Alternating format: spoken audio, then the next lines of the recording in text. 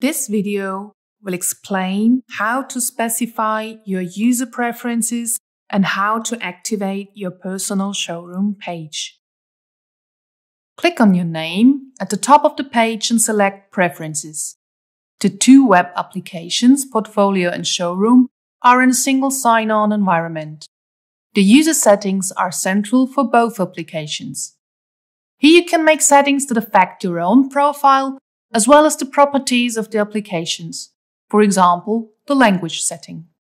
You may start by adding your skills and expertise. Choose from the given categories. You can also search for more options. Next, insert your private email address and your website if you wish. Your professional contact details are automatically taken from your university's database. Finally, you can also add a picture to your profile. Click on Attach Picture and select the image you want to use. You can also activate your personal showroom page in your preferences. Click on the Switch button to make your page visible to others and finally save your preferences. Having an active personal page allows your showroom activities to be shown together in your public profile.